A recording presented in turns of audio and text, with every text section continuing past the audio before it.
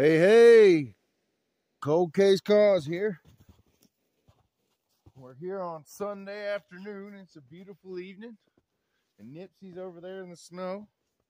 And I was a little bored, so I said, "Hey, let's. Why don't we make a survival episode? Part of the uh, log cabin living survivalist uh, segment that I started."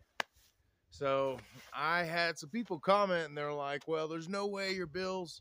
Or you just have a cell phone bill. If you burn wood, that means you got to have a, a chainsaw, and that means you got to have a chainsaw blade, and that means you got to have fuel for it. That means you got to mix fuel. That means you got to have bar oil. That means you got to have replacement chains. You guys, you don't need any of that, okay? Uh, all that costs hundreds, if not thousands of dollars to have all the high dollar. So I worked for a logging company for a long time, and I had my little tree service business, and the the cost of the upkeep for chainsaws is so much and you're breathing in you know uh, mixed fuel being burned you know and that oil and you're constantly breathing it in and the smoke's bad really bad for your health to breathe that nonstop. Um, i think a lot of lung related issues um, can be attributed to people running chainsaws back when they're younger breathing that two cycle smoke. Um, But not only that, they're incredibly expensive to run. You have to run high octane fuel in it. You know, if you want to get the the best out of it, especially up here in the mountains, uh, because the oxygen's thin. So, um, and then the chains they dull out because so this is cedar here, and out here the cedar when the wind blows, the sand actually embeds into the bark of the cedar. So when you cut it with a chainsaw, it dulls up the blade. And I'm not into cutting down trees and stuff. I like to leave the big, tall, dead trees uh, for part of the ecology and the ecosystem. You know, the bugs use the trees, the birds eat the bugs. You guys know the deal. So I just wanted to come live and to say I'm going to show you right now how to get a full night of firewood. It's been it got down to negative 15 the other night. It's warmed up a little bit. It's now getting down into the 10s and the 20s. Uh, thank God again. But um, we stayed nice and warm in the cabin. And I want to show you all, you do not need all this high-tech gas-powered equipment to survive uh, off-grid with, you know, in a cabin setting. As long as you have a, a, a pot-belly stove, I'm going to show you right now how you can stay warm through the night. So we're out here on the mesa. You want to find what wood is the hottest wood. So cedar has a real nice heat index uh, on the scale. There's a, a, heat scale, uh, you know, it tells the different types of woods in the heat index. But out here we have juniper and pinyon pine and cedar mainly, and then a little bit of uh, scrub oak, uh, which is Gambel oak, and uh, little aspen patches. So that's what uh, the trees are like here out on the mesa in Hesperus Mountain. so I'm going to show you right now how easy and how quick it is. And I, what I ask you is, what would Paul Bunyan do in this situation? All right, and you're about to see.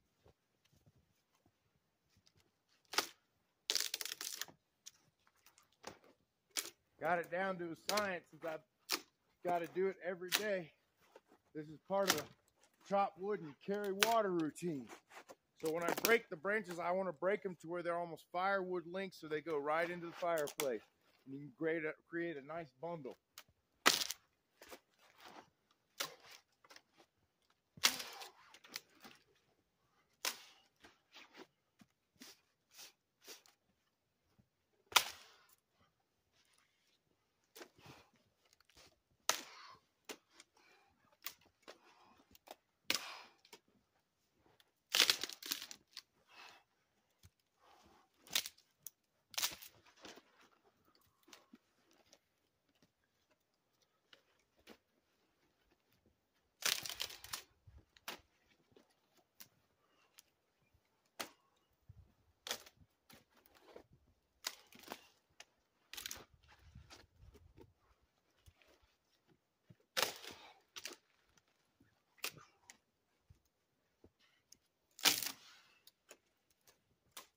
This is also helping the tree. Breaking off these dry dead branches, they burn really good and slow in the fireplace. And it also causes the root ball, it agitates the root balls and creates new growth on this tree. So you're actually helping Mother Nature by using these old branches, and these cedar branches burn hot and slow. And they burn all night long.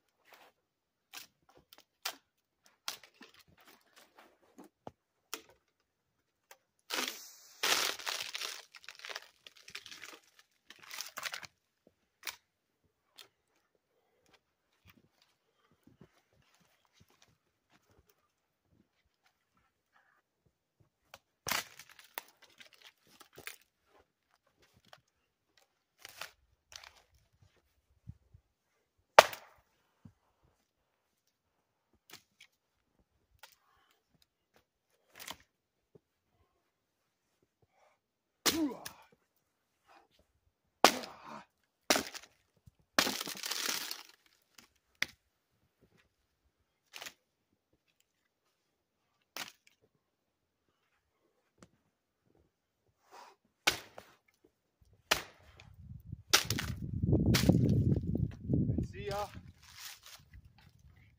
This stuff right here.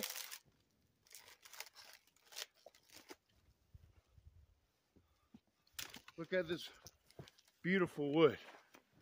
This is cedar, and this is what they make nice furniture and stuff out of. It smells amazing.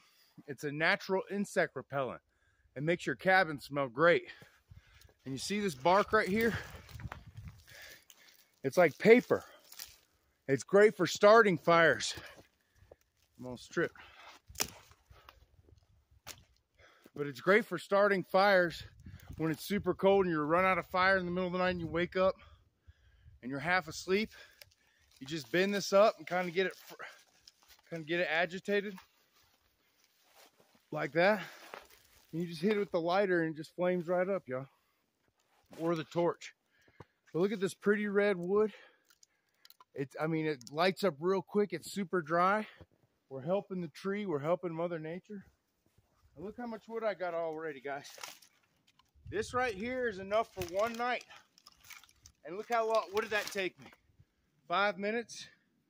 And I have a bundle of wood that'll keep me and the dogs warm all night. Take me five minutes. And now I can carry all this back in one. So, like I say, what would Paul Bunyan do? He wouldn't be running a gas powered chainsaw, spending all kinds of money on fuel and chains.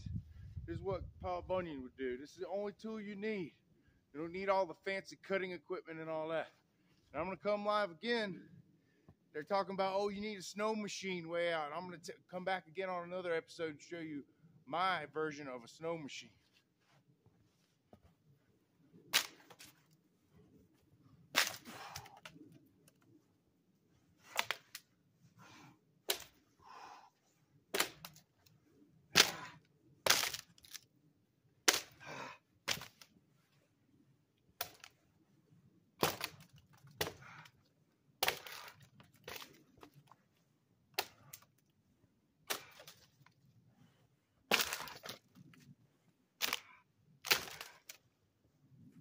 Look at all this wood, y'all.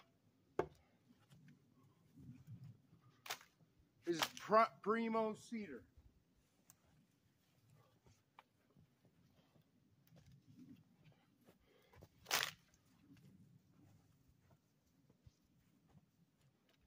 Hot burning cedar, y'all.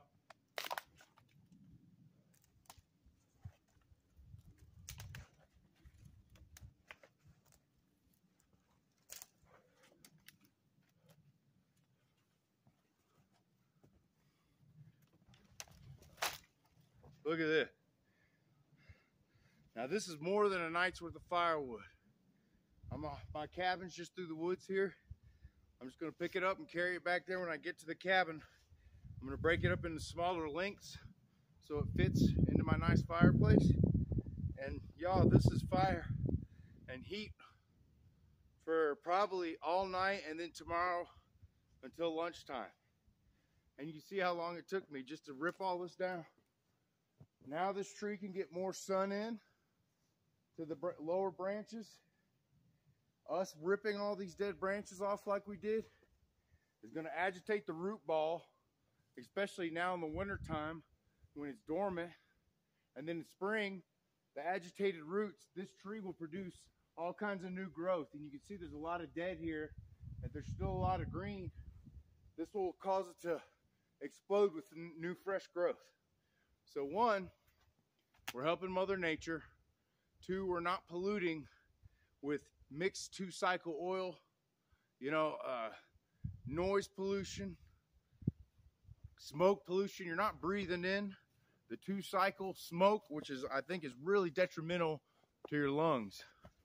Um, you're not paying out your out the pocket uh, for high dollar gas. You know, fuel is so expensive. If you're constantly mixing fuel and then you have to burn your two cycle oil and your high high dollar gasoline, and you have to have bar oil for the chainsaw. So I mean, at the end of the day, you're spending hundreds, if not thousands, of dollars every winter just a chainsaw, and it's dangerous, y'all. Like a lot every year, people die. Mountain men, people out in the country die because they miss and nick their femoral artery when when they're chainsawing in the ice and snow. It's super dangerous to chainsaw. You slip and you fall on that chainsaw blade, and it just rips into you.